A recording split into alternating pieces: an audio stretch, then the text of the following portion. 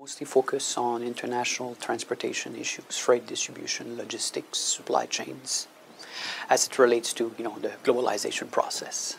It started when I was doing a PhD, mostly about transportation issue and about China.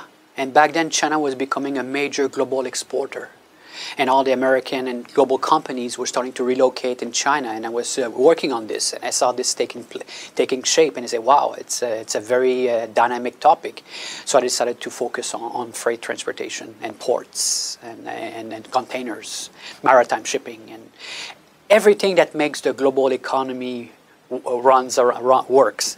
That is, make the good flows, the, sh the shelves being full of stuff. And the fun part is nobody notices it unless there's something goes wrong. But otherwise, it runs smoothly, and you go to, to go to your store, and all the stuff is there because there's a lot of action in, in the background taking care of it.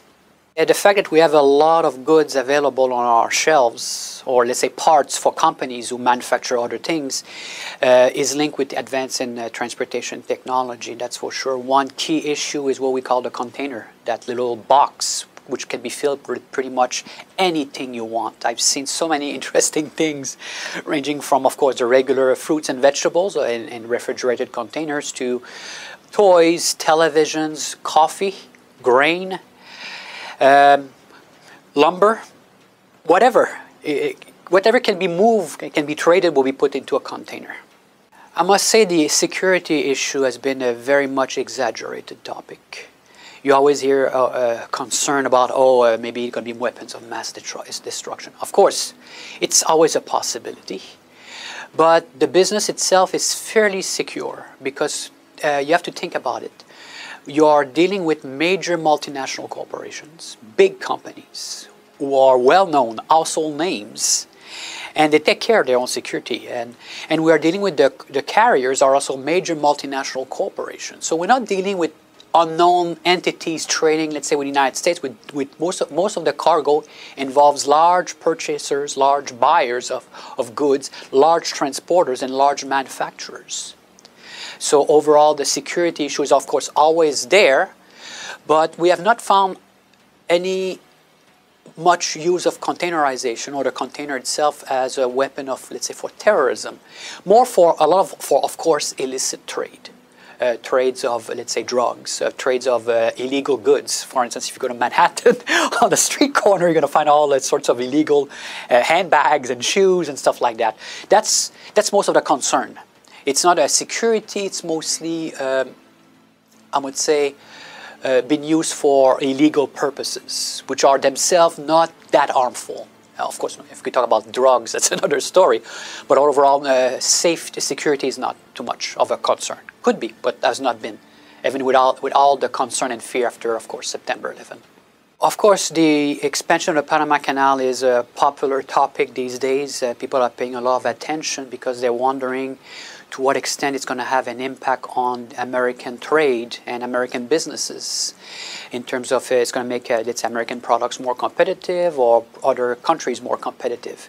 So there's a lot of questioning about what's going to be the outcome of, of this expansion. And a few years ago, I, I, wrote a little bit of research about this, or I wrote a report uh, for a think tank. I was commissioned to write a report. And as a surprise, when we published it, we made available online, it was picked up, and uh, my name became to circulate as somebody uh, was familiar with, with the topic. And uh, every now I get a, lot of uh, queries about, okay, what could be uh, the outcome of this on this type of business. I even get queries about uh, exporting coal from the United States to China, or liquid natural gas. everything that, all the commodities, everything that moved, is people are questioning what could be the consequences of this expansion. I think we have reached some kind of a limit. That is, uh, we got improvement in speed not because, let's say, the planes, the ships, or the cars, or the trains are going faster. It was because we were able to move things in between modes more efficiently. That is, a ship arrives at a port, and it takes less time because of containers to move the cargo from the ship to the train or to the truck. So we got and because the ships were, were getting bigger and much bigger, the cost of transportation went down quite substantially.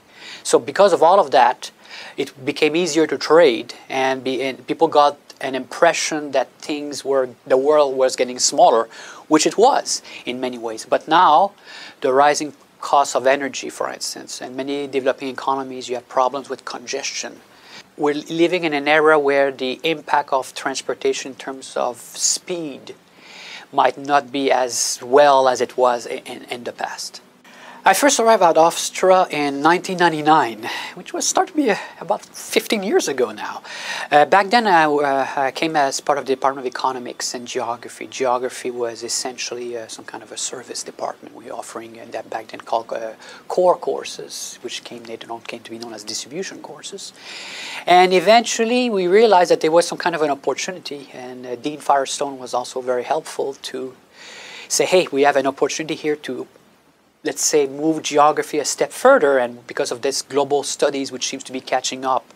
Uh, so we, uh, in 2008, we took this opportunity and founded our little department, uh, Global Studies in Geography. We were only four professors back then. And it grew pretty quickly because it's uh, an interesting topic. Students relate quite a lot to it. It has a lot of dimensions, uh, cultural and very pragmatic and commercially oriented, but I have colleagues who are dealing with culture, uh, politics, and of course, uh, economics, it became, a, let's say, a fairly solid, solid and, substan and substantial program. I teach mostly courses related to, of course, transportation, logistics. We have a course called iGlobalization, which is an interesting topic, uh, which, again, where I talk about all these issues about how the stuff moves around, uh, around the world. Uh, I teach also geographic information system, which is how to use a computer to make maps, which is also a very uh, type of skill, which a type of skill which is very much in demand on the market. Uh, I teach also economic geography, resources, energy. I thought about population geography, geography of East and Southeast Asia, a fair, a, a whole range of courses. And what is fun in class is, let's say, you talk about a topic that you care a lot about and you try to convey some form of passion. Because i care about my the cargo i care about the containers i care a lot about globalization because i think it's a very very relevant topic. And i try to convey that passion to the students. Uh, hopefully successfully or more or less successfully depending on, on, the semester or the cases. But that's what pretty much what i like. And also what i like very much is since i have a very practical field is I can talk about stud uh, to students about what's happening in the real world as it as it goes on because I go to conferences and say, oh, I just came back from a conference and we discussed this issue. This is what seems to be a contention or a concern these days, or this is what these companies are doing right now as as we speak. So I have a can I say opportunity to be to get the pulse of the market almost in real time and try to report this to the students.